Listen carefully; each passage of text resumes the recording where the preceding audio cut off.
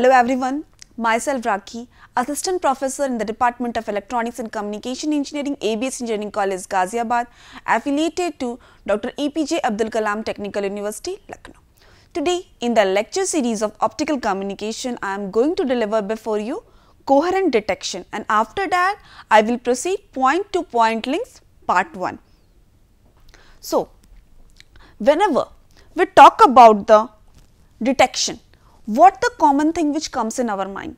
Detection terms itself tell something to detect.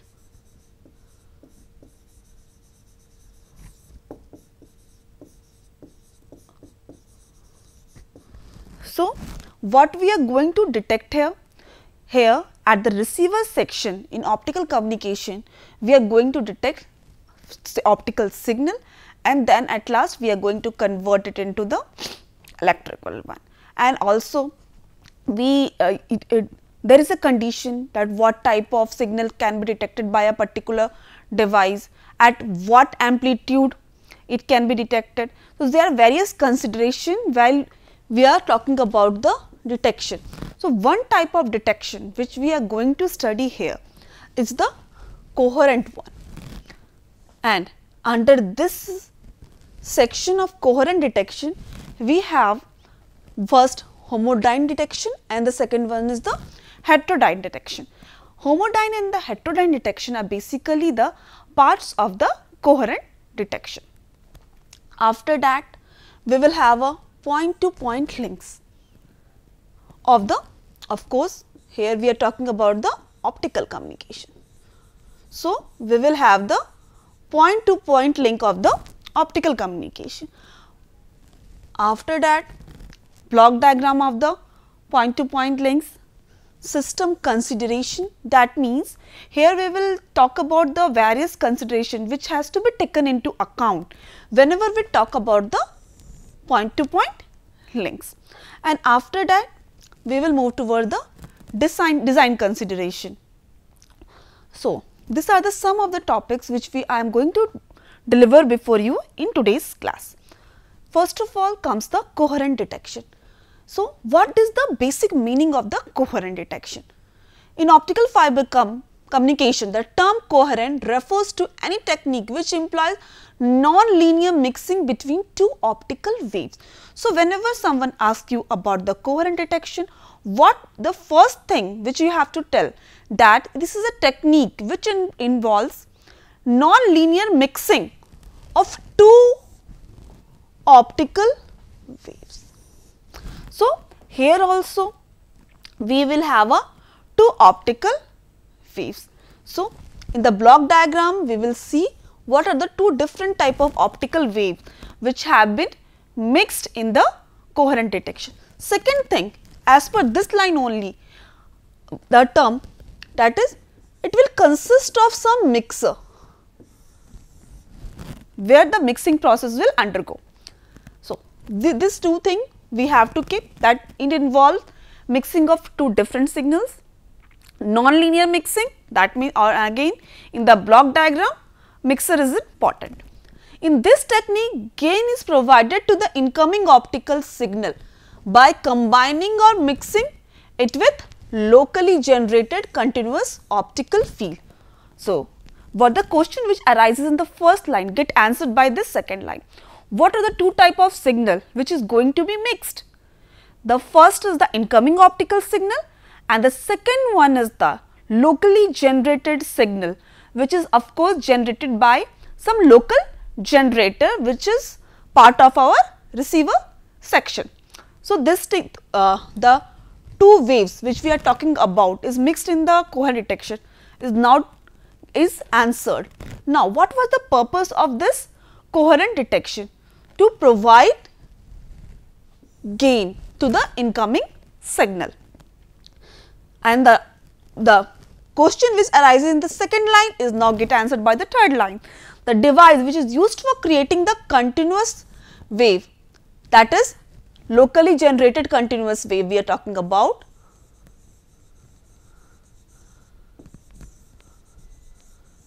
is a narrow line width laser called a local oscillator LO. Why we have taken a laser here? Because we want to generate the optical signal and the laser is one of the source of the optical signal. And also we are known that it is a coherent source of optical signal.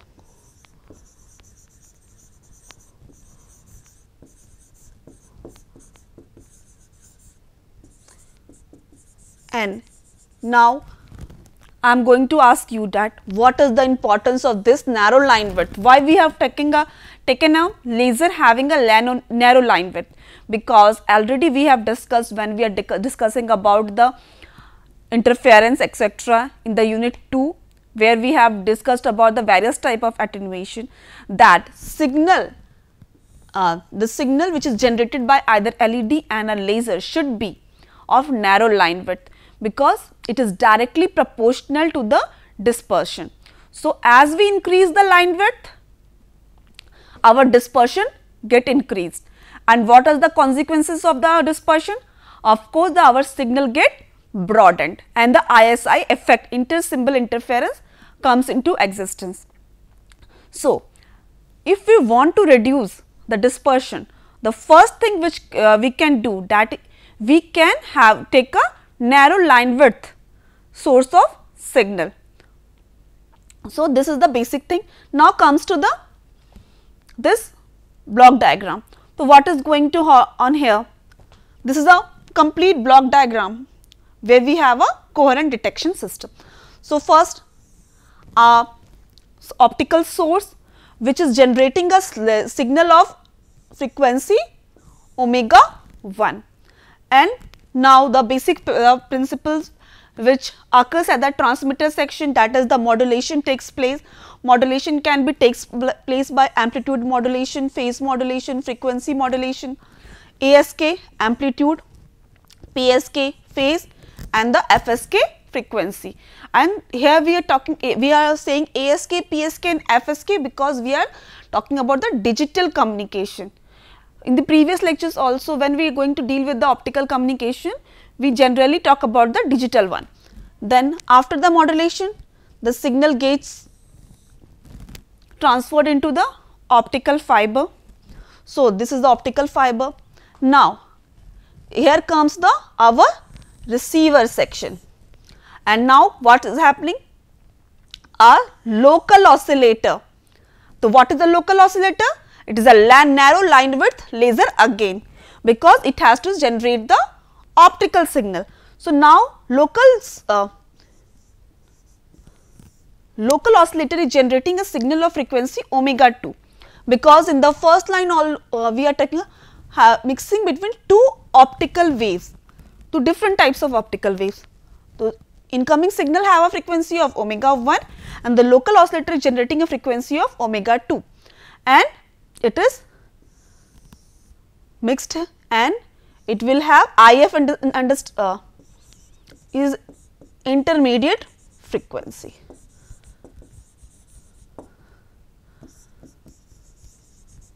So, coherent detection is occurring here because we are having a local oscillator and we will generating a intermediate frequency and that then this intermediate frequency is inserted into the amplifier filter and de uh, demodulated next for the getting the data out in the at the end.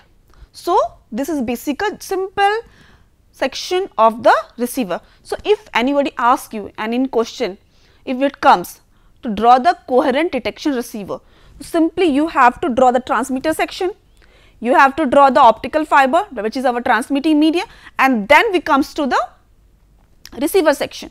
So, you will simply draw the blocks if you do not remember the complete diagram. So, incoming signal have the different frequency, the signal generated by the receiver, local oscillator in the receiver section should have a different frequency and at last we have to show one what intermediate frequency that is IF. So, this is the basic thing which you have to draw. Now, here comes the mathematical analysis of the coherent detection.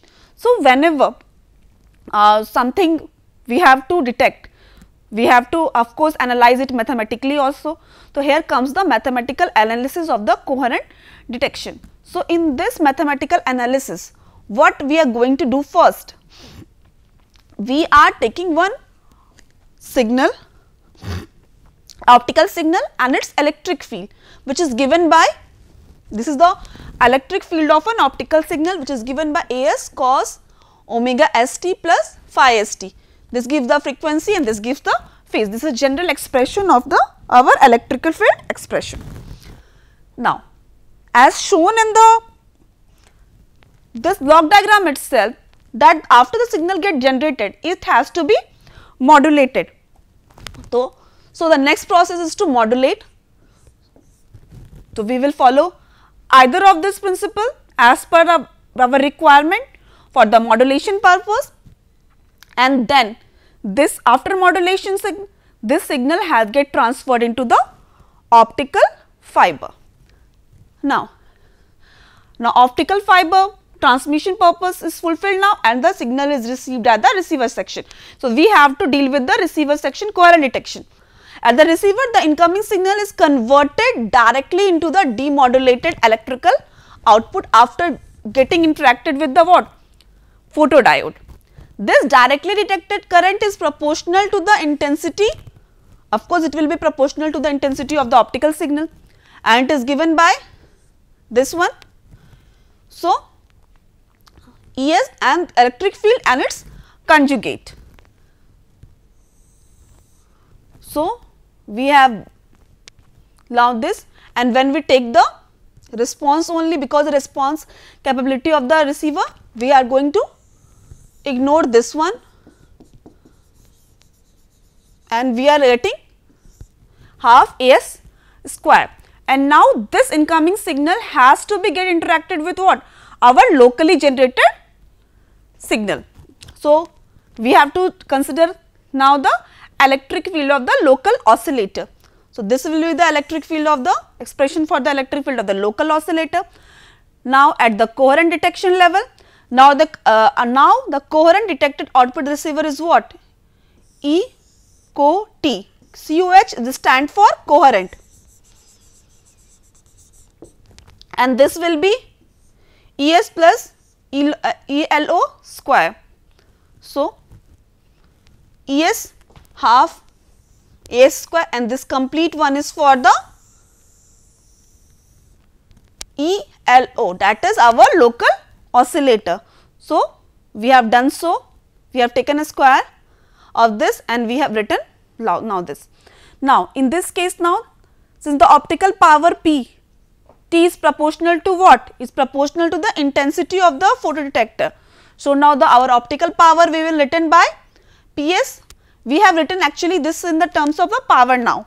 PS, PLO and everything is expressed in the terms of power. Though, so this is our the final expression of the power received after the coherent detection at the receiver section. Now, what is the difference between the homodyne detection and the heterodyne because heterodyne and homodyne are basically two parts of the coherent detection. So, when the signal carrier and the local oscillator frequencies are equal.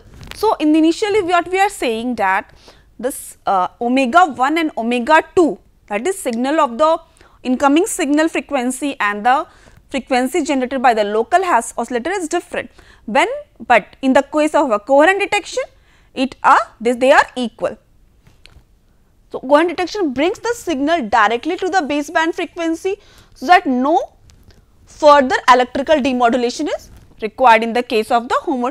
Everything has got some advantage and the disadvantage. So, it does not require further demodulation and it is the most sensitive coherent system and the system which is designed using the homodyne system is very sensitive one, but it is most difficult to build and the, the reason behind this is that the local oscillator frequency and the incoming signal frequency has to be same. So, in this case when the omega if that is frequency of the intermediate signal is 0 because omega if is given by what omega 1 minus omega 2 and in the case of homodyne detection both of these are same. So, the resultant omega if should be equal to 0. So, in this case omega if is equal to 0 and when we take this expression of power now omega s minus omega l o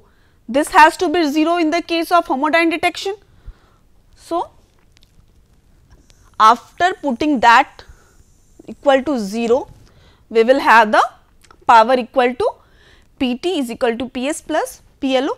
Just try to do this whether you are getting this or not.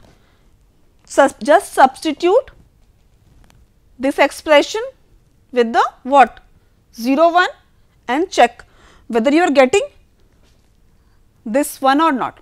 This is another task for you because you have to just substitute omega if that is omega 1 minus omega 2 equal to 0. Now, we are moving towards the heterodyne one. Heterodyne of course, omega 1 and minus omega 2 should not be equal to 0 in the case of a homodyne detection. So, the block diagram or the power will be the same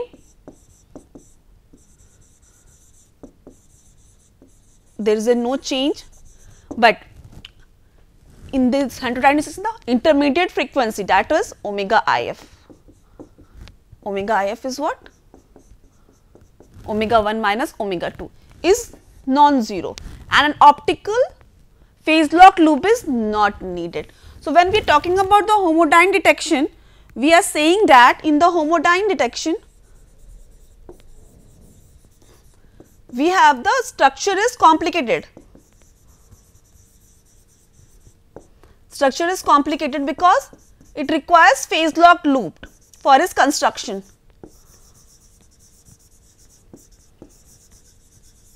But so this structure get complicated for the heterodyne receiver of course this is not required.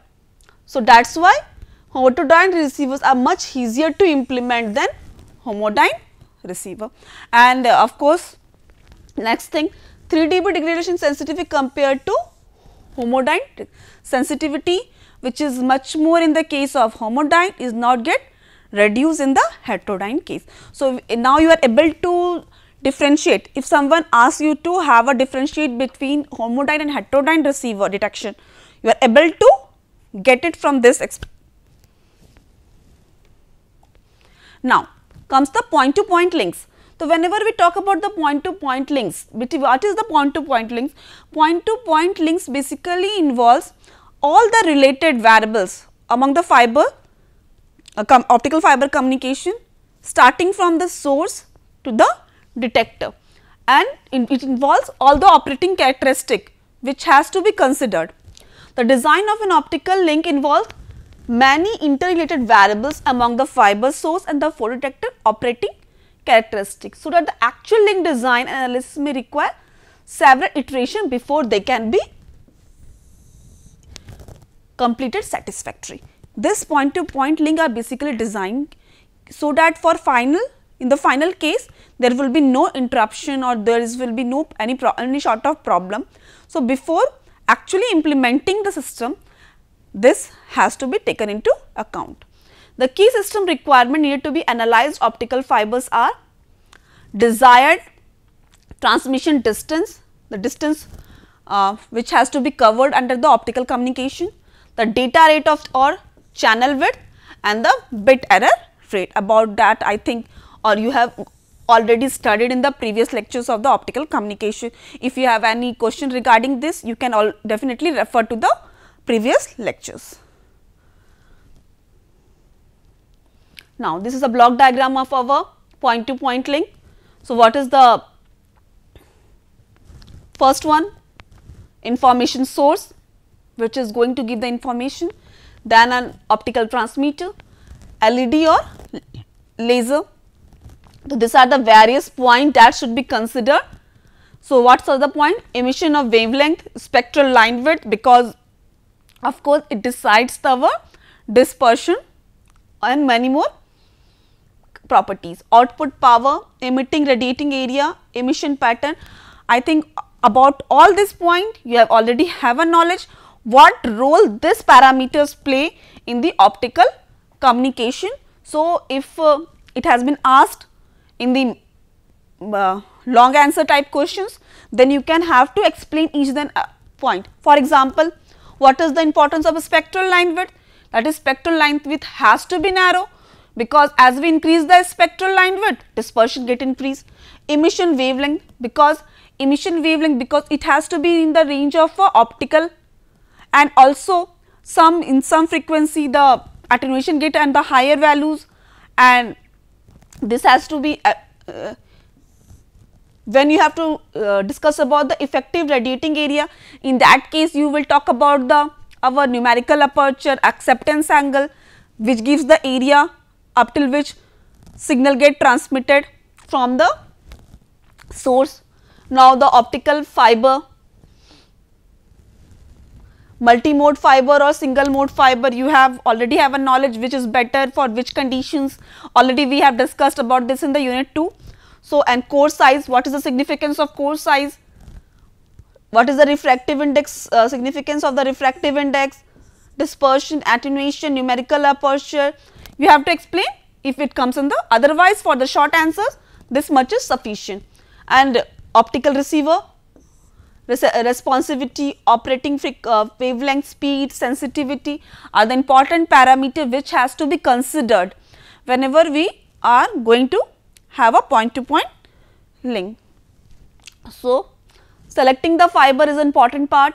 Bit rate and distance are the major factors. Other factors we consider are attenuation, distance bandwidth product of the connectors, splicing etc.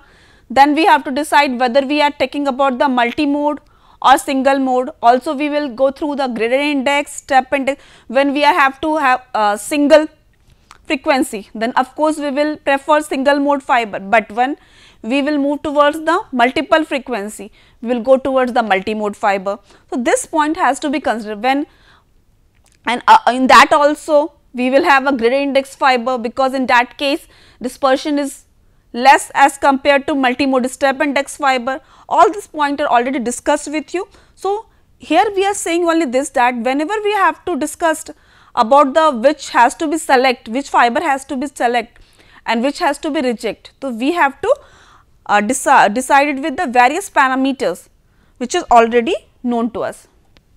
Now, of course, optical source emission wavelength depends upon the acceptable attenuation and dispersion.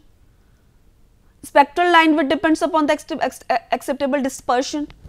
LED have a wide spectral line width and laser have a narrow and this spectral line width is related to the dispersion. Output power of the fiber LED low, laser high. We have to also consider this point stability, reliability and cost driving circuit consideration.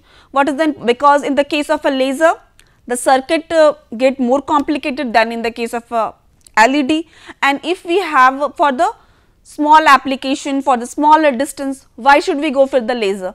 We will of course continue with the LED for a uh, nominal application for a short distance for experimental purpose. So, we have to decide the source based upon the conditions under which we are going to have a optical communication. Selecting the detector, what uh, type of detector APD and is avalanche photodiode. It has a high sensitive but complex, high bias voltage and expensive. PIN simpler, thermally stable, low bias voltage and less expensive. Responsivity, operating wavelength, speed, sensitive. So, at last I just want to conclude one thing that whenever we have to decide which thing has to be taken into account, which fiber, which detector, which source. First of all, we have to check which type of system we are going to designing. According to that only, we will decide take this. Before selecting a suitable component, the operating wavelength for the system is decided. This is the first thing which we are going to have. If the distance over which the data has to be transmitted is not too far,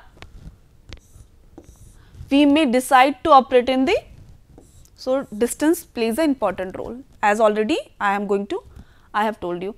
On the other hand, if the transmitting distance is long, 300, 1300 or 1500 nanometer region is preferred due to lower attenuation and dispersion. So, before moving forward, the general thing which you have to be take into account whenever we are uh, deciding the something fiber, laser or anything or photodetector. We have to check for which system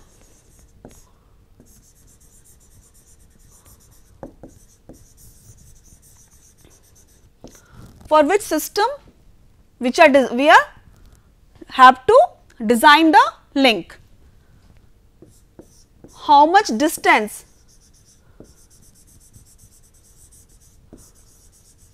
for short distance, for long distance because as we increase the distance attenuation etc increases. So, if we are for the short distance communication we can take something which gives the attenuation in the longer distance. So, this point has to be considered whenever we are about to design any point to point link. Now, the further thing is design consideration and also for designing purpose uh, we used to have a link uh, do two type of analysis. First one is the link power budget and the second one is the system rise time budget analysis. What is the significance of this? Determine the power margin between the optical transmitter output and the minimum receiver sensitivity needed to establish a specific bit error rate. So, in this particular case, case what we are going to do that whatever are the components which are going to uh, design the system is taken into consideration what type of losses is occurring and at end at the receiver section what we are getting. We will discuss uh, this in great detail in the with the help of numericals also in the next lectures. And the another thing other type of analysis which has taken into consideration while the design system is designed is the rise time budget analysis. Once the link power budget has been established, this designer can perform a system rise time. I think already all of you have known about the rise time. If you are not aware of the rise time, we will discuss of course this in the next lecture to ensure that the desired overall system performance has been meet. So, thank you for today. We will continue with the rise time analysis and the budget analysis in the next lecture. Thank you.